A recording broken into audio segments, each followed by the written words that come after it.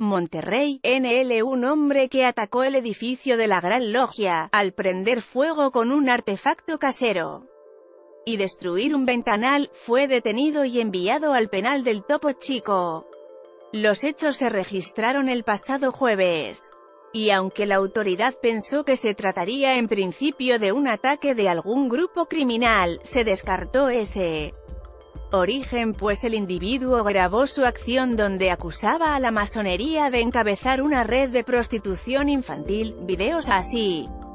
Rapiñaron hidrocarburo en Acambay sin miedo a morir calcinados luego del ataque al edificio en Escobedo entre Galeana y Tapia del centro de Monterrey, el hombre que en el vídeo dice llamarse Bernardino Arellano Almaraz, acudió a casa de una ex pareja para también intentar incendiar la vivienda.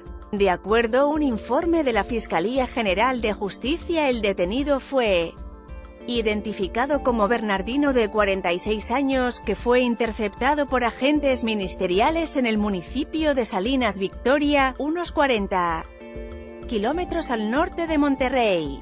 Los agentes le ejecutaron una orden de aprehensión en la carretera Monterrey-Learedo en la colonia.